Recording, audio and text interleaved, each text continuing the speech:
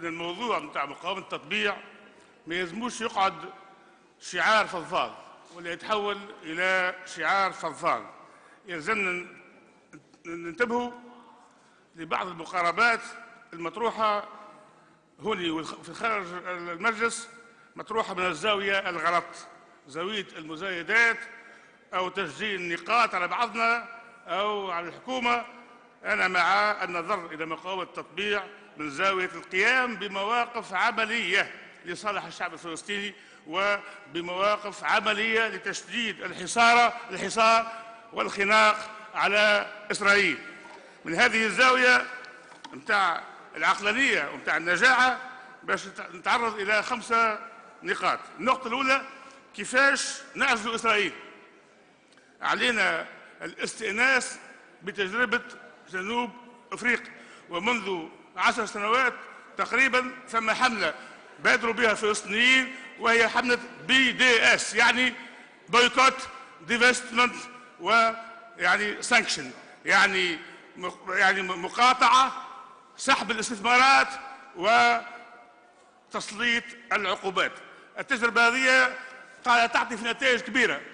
تعد بمئات ملايين تاع الدولارات تضرب في إسرائيل. وأخيرا حكى الاخ إياد في البرتغال مؤخرا شركة مياه تاع البرتغال فكت العقد مع شركة ميريكوت الإسرائيلية بضغط من المجتمع المدني كذلك النقطة الثانية اللي حبيت نتحدث فيها هي كيفاش نجبر إسرائيل على إطلاق سراح الأسرى الفلسطينيين. ويحيي الرفيق الزعيم أحمد سعيدات.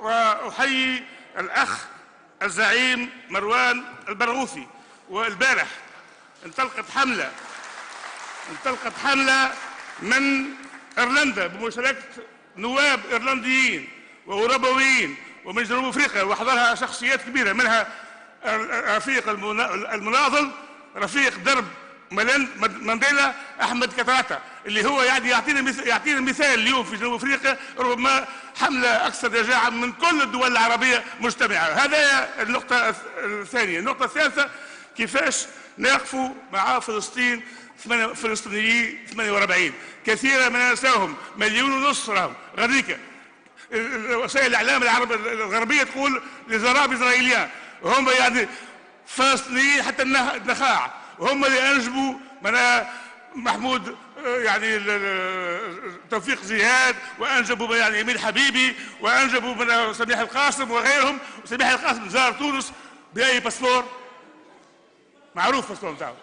حتى حد ما حكى هذه. وبالتالي الناس هذوما هم اللي اخترعوا يوم الأرض وهم اليوم قائمين بحملة عظيمة داخل التراب هذايا لمقاومة التجنيد نتاع اللي حب تفرضوا إسرائيل على المسيحيين بعد ما حاول تفرضوا على الدرز.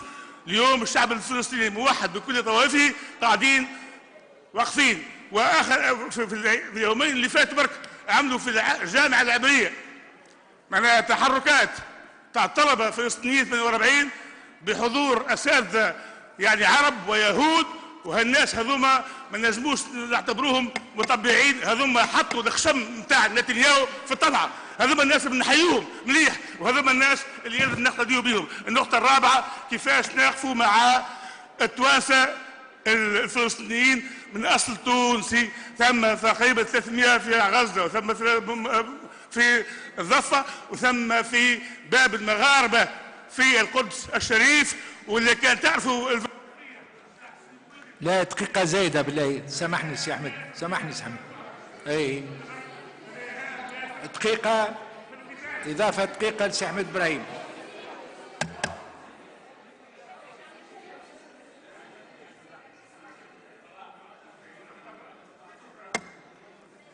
رجعوا المصدح لسي أحمد إبراهيم. الرابعة كيفاش ناخذوا مع الفلسطينيين الاصل التونسي. اعداد نتاعهم 300 على الأقل في غزة وتقريبا كيف كيف في الضفه وعشرات العائلات في القدس الشريف في باب المغاربة. وثم الوقفية نتاع بوميديان اللي هي هو من أصل الجزائر ومولود في تلمسان وأنا ندعو التونس الحكومة التونس الحكومة التونسية مع الجزائر ومع المغاربة باش ناخذ بعضنا مش برك مع كل المغاربة مع التوانسة. لازم نشدوا أزرهم في مقاومتهم من انتزاع أملاكهم وديارهم.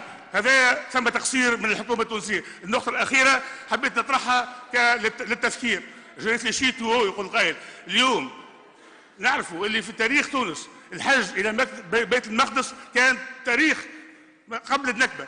يمشوا يحجوا المكة والمدينة ويمشوا لبيت المقدس. بعد بعد النكبة الشيء هذا إحنا اليوم قاعدين نشوفوا اللي معناها يهود تقريبا 50 وكذا من أصل اسرائيلي وياخذوا معها برخصه رخصه آه، دخول ولا شنو. يا أخي أنا ما تعرفوا الاسرائيليين كيش يعملوها. واحد إسرائيلي يقع سدانه يطلب يسيبوا ألف فلسطيني. إحنا يا أخويا نحبوا ما ثم خمسين إحنا نحبوا خمسين ألف تونسي يمشوا للقدس ويصليوا في القدس الشريف. هذا الشيء جديد تقوموا به. هذا الشيء اللي يوجع إسرائيل. هذا يقوموا به وهذا ممكن وفي الختام نحب نقول حاجة وحيدة. نحيي السيد رضا والسيدة أمال. إحنا في المسار ما ناديناش بالمؤسسة ونحن ما ناديناش نصوتوا لصاحب الثقة. ولكن كلمة برك كلمة بركة. أنا قلت في جمعتين التالي قلت تغفيسة. القرار هذا الإداري. تغفيسة. وسبحان من لا يخطئ. يا أخي نطوي صفحة وفي نفس الوقت شدوا يد بعضنا. ونكونوا واعيين بالآثار السلبية شكرا.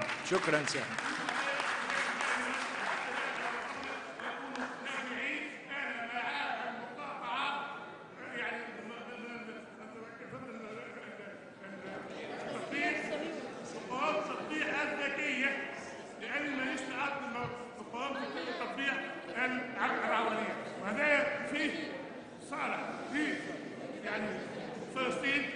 Hallelujah.